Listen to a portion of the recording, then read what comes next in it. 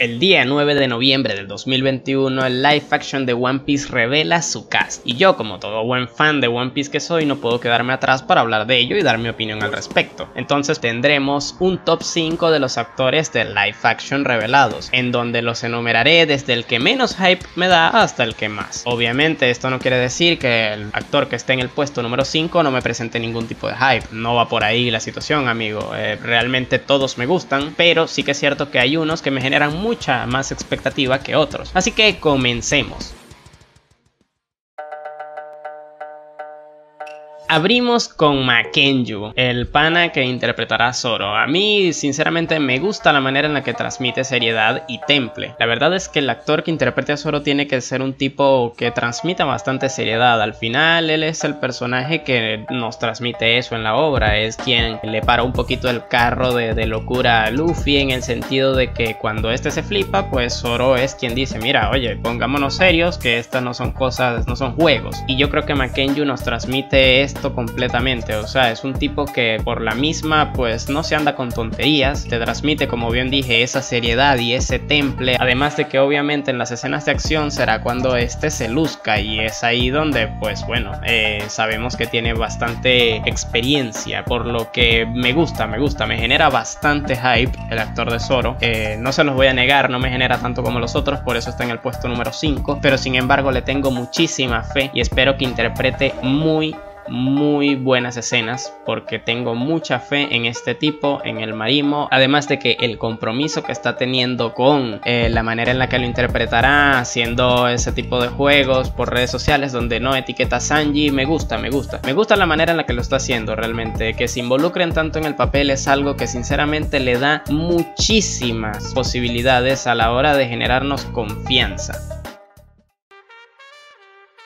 Ahora pasamos al tipo al que le vas a pedir fuego cuando estés en las fiestas. O sea, este sujeto te transmite muchísima seguridad en el sentido de que te sientes bien, ¿sabes? Te sientes cómodo, no te sientes inseguro con él. Al contrario que el señor eh, Zoro, que obviamente pues lo mismo estás al lado de él y estás temblando porque de repente te corta la yugular. Pues este es todo lo contrario, ¿sabes? Con Sanji y con Taz Skyler, creo que se, se pronuncia Skylar, no sé cómo coño se pronuncia. Me gusta muchísimo porque me transmite transmite esa, esa sensación de confort, ¿sabes? Esa sensación de que este es el tipo al que tú vas en la fiesta y le pides fuego tranquilamente porque sabes que es un tipo de bien. Me gusta, me gusta muchísimo. Me gusta que confiaría en este sujeto para que me haga la cena y porque no otro tipo de cochinadas, pero eso ya son otras cosas. Pero aparte de eso hay ciertas cositas que obviamente van a mejorar, obviamente pues eh, mm, es raro que nos digan, no, aquí está Sanji y pues Sanji no tiene el pelo largo ni tampoco tiene las cejas rizadas, no te preocupes amigo, eso va a ser cosas tonterías realmente, eso son tonterías que se van a arreglar, al tipo no es como que no le va a crecer el pelo de aquí a que le toque grabar sus escenas, eh, lo del tema de la ceja pues es algo que tranquilamente se puede solucionar con cualquier tipo de maquillaje. O sea,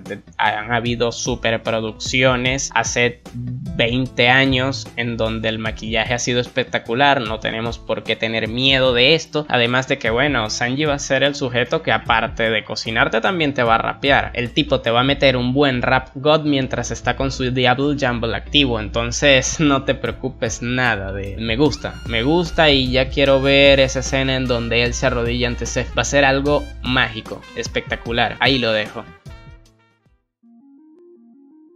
Pasamos a la luz del cast, a la explosividad pura y el señor Iñaki, el que interpretará a Luffy. Me parece una decisión espectacular. Este tipo te transmite toda esa inocencia, pero a la vez esa ambición, ¿sabes? Esa ambición inocente que tiene Luffy en el East Blue de no saber, eh, de no saber con lo que se va a enfrentar, pero que le chupa un huevo realmente, ¿sabes? Esto es Luffy, o sea, es el tipo que se convertirá en el rey de los piratas, es el sujeto que va a personalizar personificar la aventura que recorreremos junto a él. Me parece muy bueno, muy tierno, me parece un chico que, te transmite toda esa alegría, que al final One Piece es alegría, que todos queremos sí, que en One Piece va a morir eh, Barba Blanca y no se va a transformar en el Gear 4 y no sé, no, no, al final One Piece es alegría y este chico es alegría pura. Me encanta, me encanta que además sea latino que sea mexicano, me parece espectacular. O sea, es un chamo que, que, sinceramente le tengo muchísima fe, que me siento muy cómodo, como dije antes, imaginándolo en el momento en el que él sea Luffy, en el que él lleve ese sombrero de paja, en el que todos el resto de, de actores giren en torno a él y que en algún momento sean ayudados por él. Siento que se van a presentar situaciones mágicas gracias a que Luffy será interpretado por el bueno de Iñaki. Confío en ti.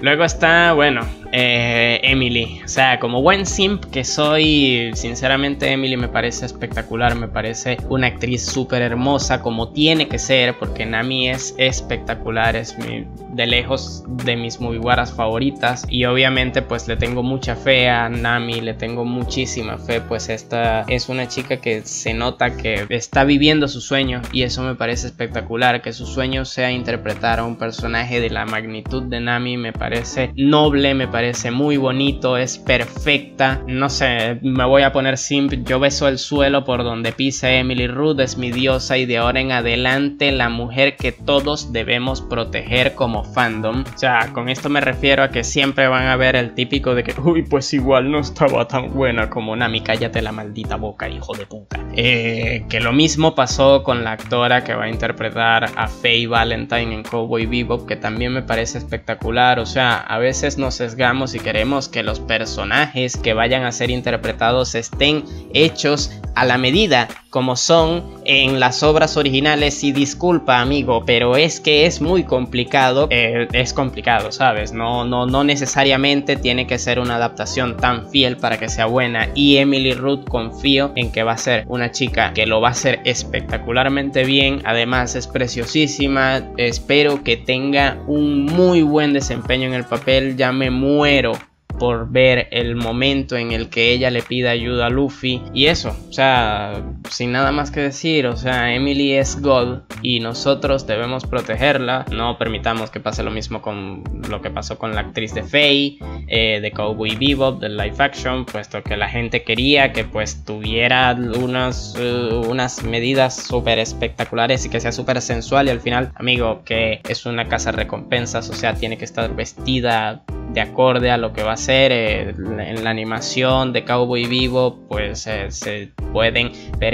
ciertas decisiones estéticas pero aquí quizás al adaptarlo a la realidad pues tiene que tener otras vías y pues espero que Nami eh, sea muy bien interpretada por ella por Emily y aprovechar también para recordarte que por aquí te estaré dejando un video donde hablaré de un enfrentamiento entre Kurohige y Shanks en el manga de One Piece. Y pasemos a obviamente el MVP, que será el señor Jacob, el señor que interpretará Usopp. Eh, yo lo digo sin tapujos, este es el caballo por el que yo apostaré. Es un men que se nota que se montará todos los momentos graciosos a sus espaldas. Además de que encima obviamente Usopp es un personaje súper complejo, porque él tiene muchos matices a la hora de expresar su manera de hacer las cosas. No es un Zoro que siempre va a estar serio o un Sanji que siempre se tiene que sentir confortable. No, no, no. Que Usopp es un personaje muy variopinto a la hora de expresarse con el tema de sus miedos, con el tema de su inseguridad. Mira, yo te digo, apuesto todo por Usopp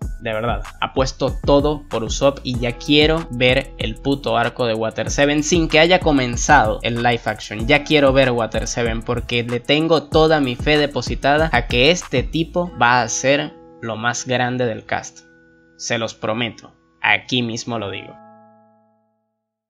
Pero dicho esto, también eh, obviamente me gustan todos. O sea, como ya lo dije antes, en el hecho de que, de que yo qué sé, de que Jacob esté en primer lugar y que Makenju esté de último, no quiere decir que Makenju no me guste. Eh, todos realmente me, generan muchas eh, buenas expectativas. Y otra cosa que también me genera muy buenas expectativas es la manera en la que el fandom recibió esta noticia. Eh, de verdad, muchísimas felicidades, chicos. O sea, es algo que, que sinceramente me hace sentir muy orgulloso pertenecer a esta comunidad porque el hecho de todo el apoyo que se le ha a este proyecto eh, en el momento en el que se conoció el live action que quizás eh, muchas personas estaban indecisas con razón obviamente porque todas las veces que han habido live action anteriormente en otro tipo de circunstancias pues han ido bastante mal y es muy complicado volver a tener fe con este tipo de cosas sobre todo cuando es algo que nos interesa tanto pero el hecho de que eh, hayamos apoyado tanto de que hayamos recibido tan bien a los actores en específico a Luffy